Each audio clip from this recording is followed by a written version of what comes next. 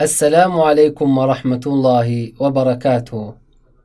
مرحبا بكم طلابنا الأعزاء في دروس في تاريخ الفكر الإسلامي حيث أننا معا سوف نوجز ونختصر الوحدة الثالثة من هذا الكتاب.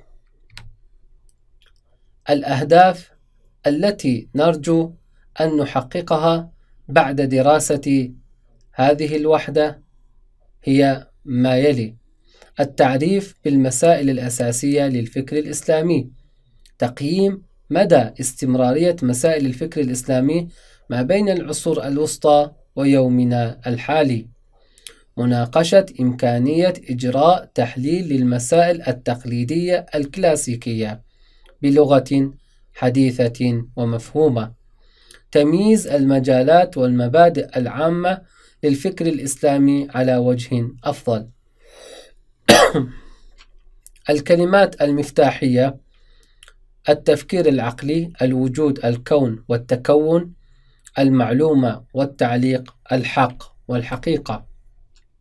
المدخل الفكر الإسلامي بوجه عام هو فكر مؤيد لفتح الطريق أمام الاعتقاد الديني باتجاه الفكر العقلي وكذلك لحركة الفكر العقلي نحو الاعتقاد الديني.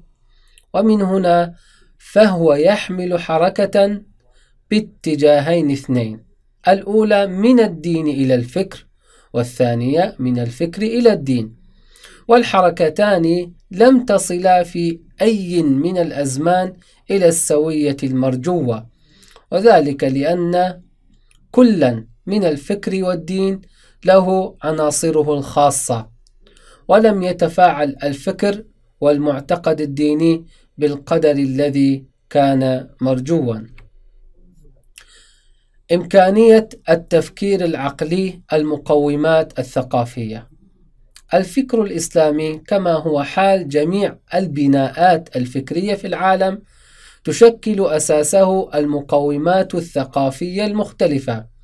وفي مقدمة هذه المقومات الثقافية اللغة وهي اللغة العربية في بداية الأمر ثم اللغات المتعددة التي شاع استعمالها في العالم الإسلامي في المراحل التاريخية المختلفة.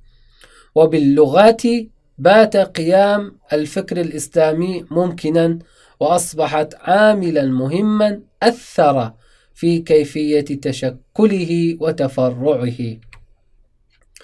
النصوص الدينية القرآن والسنة الوظيفة الأصلية للفكر الإسلامي هي فتح آفاق الفهم أمام المؤمنين وتفسير الحقائق وتوضيحها مع تغير الزمان والمكان وذلك بالاعتماد على القرآن الكريم وما أفاده الرسول صلى الله عليه وسلم في أحاديثه.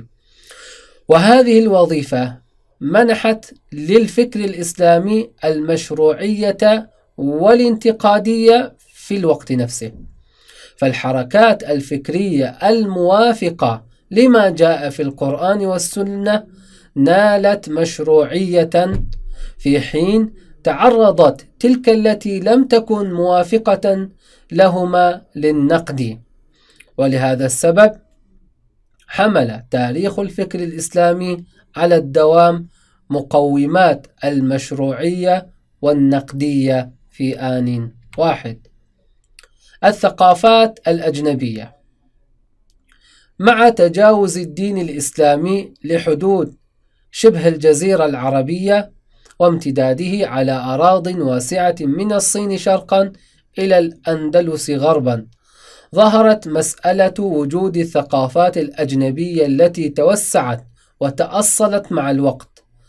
فالبقاع التي وصل إليها المسلمون اشتملت على لغات ثقافية وعادات ومعتقدات وعلوم وتراكمات فلسفية مختلفة.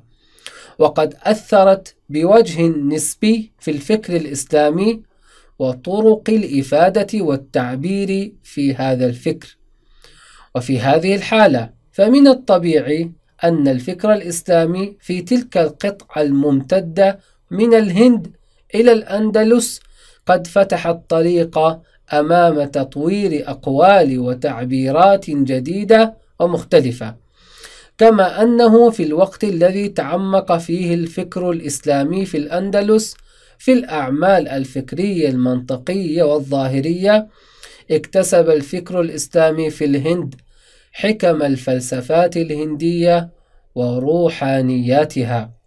وفي بعض الأماكن التي وجدت فيها الفلسفات اليونانية كان الفكر الإسلامي يناقش ويحلل المبادئ وزيادة على ذلك اكتسب الفكر الإسلامي في إيران ثوبا أدبيا. تطور الوعي العقلي أصبحت بمراحل وأقسام هي التطور الوجودي التكون التطور النظري التطور التطبيقي.